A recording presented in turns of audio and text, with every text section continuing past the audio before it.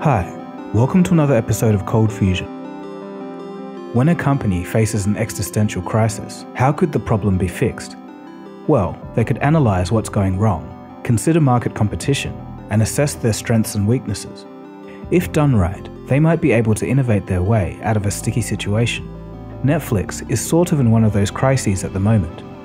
One of their recent solutions was to subtly include gaming in their content offerings. So, how is it all going for them? Well, the first numbers just dropped earlier this month, and well, let's take a look. You are watching Fusion TV.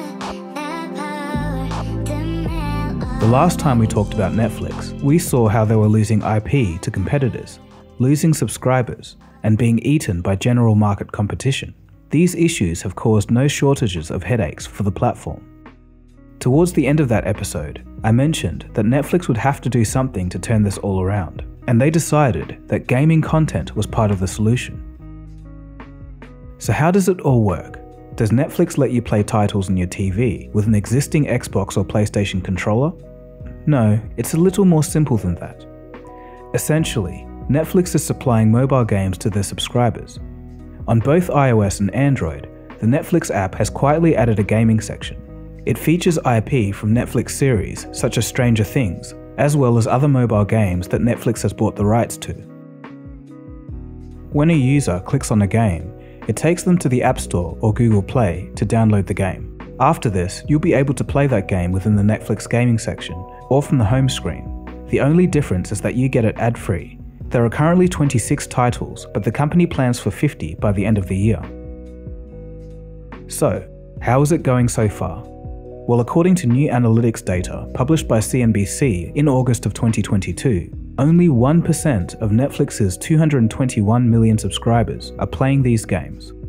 That's 23.3 million downloads, but only 1.7 million daily users.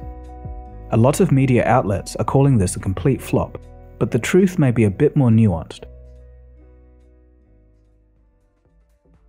You see, looking from the outside, this launch is a bit of a head scratcher it's pretty safe to say that most of you watching didn't have the faintest clue that Netflix was even supplying games. The thing is, it's been around since November of 2021, but the marketing was non existent. One would think that either they're not confident in what they're doing, or that it's a purposeful but woefully quiet launch. As it turns out, it's the second.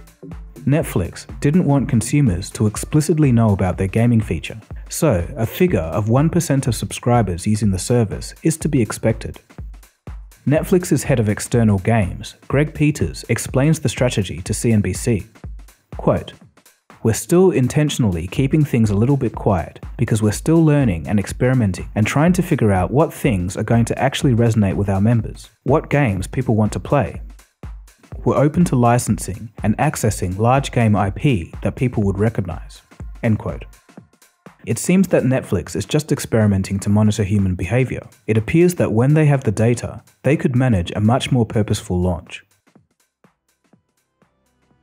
So far, Netflix is utilizing outside game developers to build out its gaming catalog, but the company has bought three game studios in the past year and among them is the Finnish company Next Games at a cost of 72 million. Next Games was the studio behind an existing Stranger Things title, so the acquisition was a no-brainer. Netflix has also reached an agreement with Rocket Ride Games. This hints at a future of custom Netflix gaming content. I spoke to a mobile gaming developer whose company has been contracted to work on some Netflix content. He gave me a bit of an insider view as to how things are going behind the scenes. According to him, Netflix really seems to be rushing to get things done. They browsed through his company's catalogue and wanted a reskinned Netflix series themed version of an already existing game. Netflix said that the gaming publisher was not to list the app on the App Store. And also an anecdote to give you an idea of how fast they want things. Netflix wanted to launch a new game in a few months, despite only approaching my source's team just weeks earlier. A Netflix representative told him that they're trying to get a mobile platform together and their tech is in flux and not quite figured out properly. So it does seem like a bit of a mess at the moment, but we'll see how things go. So the question must be asked why gaming? Well, it seems that Netflix sees their issues as a matter of user engagement. In a letter to shareholders last year, Netflix named Epic Games among its biggest rivals for people's attention.